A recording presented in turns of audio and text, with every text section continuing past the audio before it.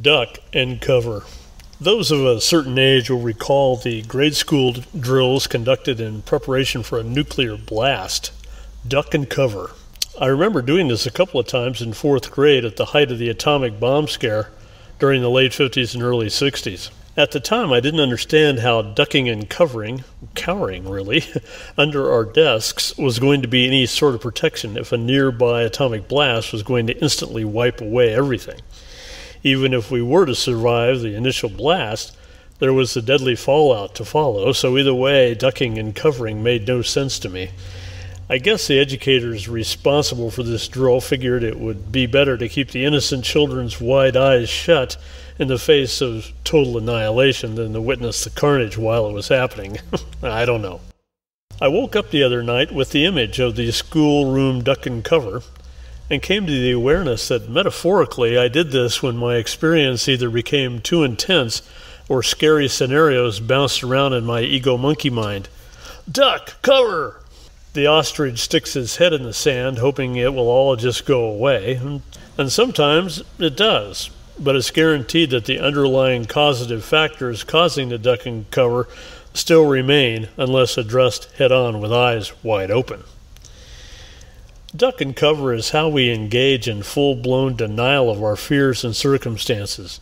It gives us a sort of sense of protection, even though it's no protection at all.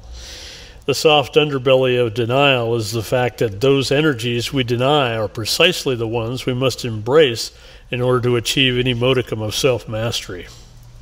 What are we ultimately denying? Well, our own creations, or our responses to our own perceptions. One person can see the charge of a lion as a life threatening event, or maybe that lion is charging up to give us a big hug. Of course, we usually aren't going to wait around to find out, either running away or doing the duck and cover. There are inexorable forces in this universe, and some of them are beyond our puny personal power. They exist in our world because we subconsciously agreed to co create them in all their wondrous brute force. These great forces of nature, such as hurricanes, earthquakes, volcanoes, supernovas, bring perspective in the knowledge that there are greater forces at work in the universe than ourselves and serve as reminders of the lineage of power from whence we came. When it comes to our own psychologies, it's important to discern the difference between an existential threat and a purely imaginary duck and cover event. And on the road to spiritual development, there are nothing except ephemeral fears masquerading as existential threats. That is to say, whatever we are ducking and covering from will never destroy us, only make us stronger. Like Dorothy in the Wizard of Oz story, our seeking to find home is often more a matter of recognizing our own ruby slippers and then how to use them than any type of grand sojourn to an external wizard who will dramatically reveal to us who and what we truly are, or at the very least, pat us on the back with words of encouragement. Of course, many times on my spiritual journey home, I have accepted a pat on the back as evidence of progress, a surface illusion at best, and it only served to distract me from the reality that the way home is known only to me.